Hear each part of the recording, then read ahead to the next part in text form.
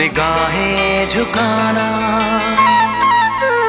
हाँ निगाहें मिलाकर निगाहें झुकाना। अगर ये मोहब्बत नहीं है तो क्या है? किताबों में चाहत भरे खत छुपाना।